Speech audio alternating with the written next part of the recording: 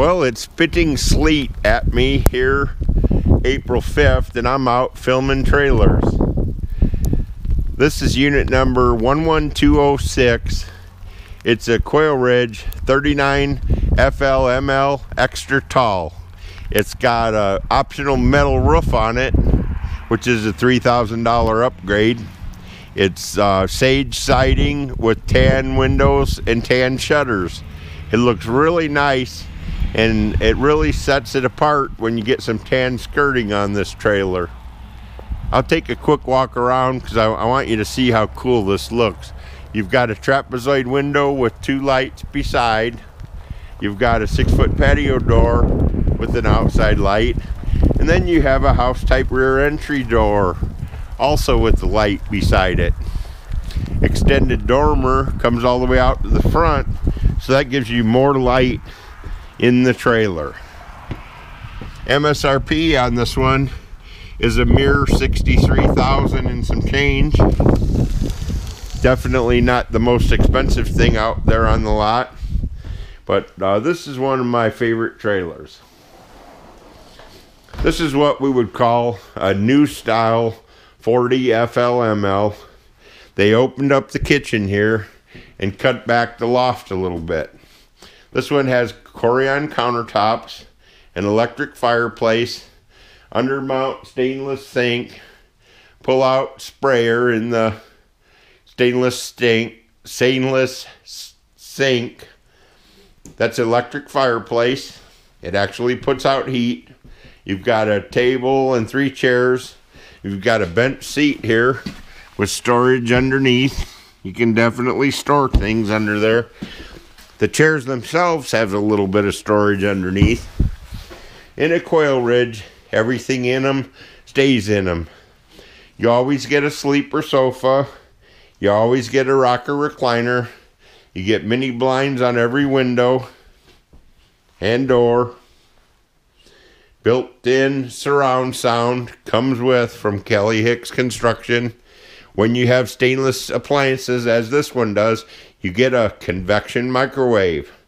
If you've never cooked with the convection, they're kind of fun.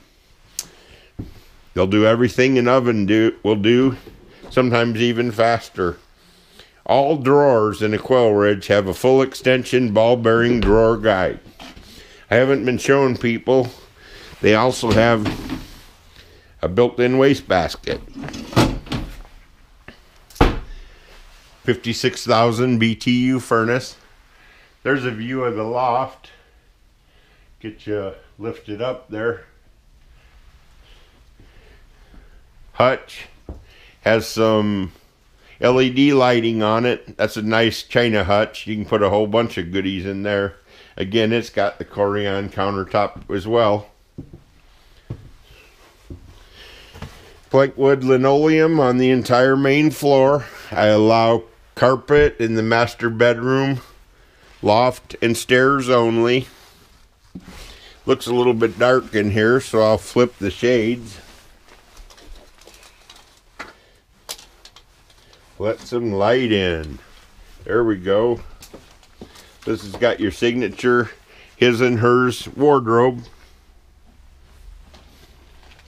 Four drawers. Or eight drawers and four doors. Got a closet rod in his and hers wardrobes. Lights in all the closets. Behind the mirror is the electrical panel. It's hinged for easy access.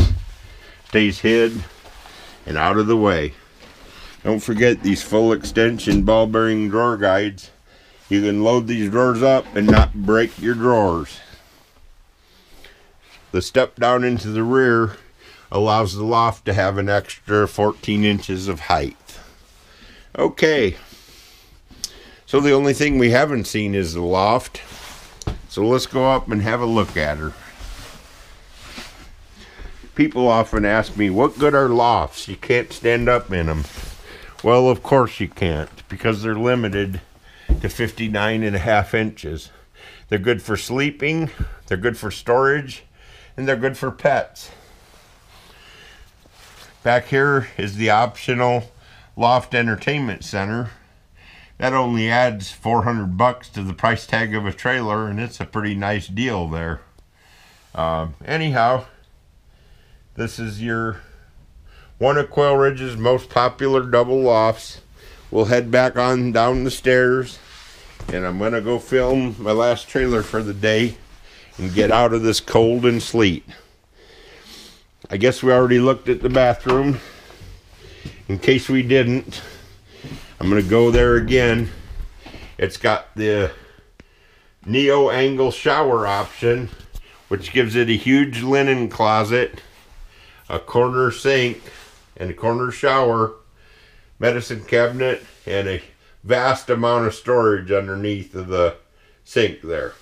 And of course, a porcelain stool. Okay.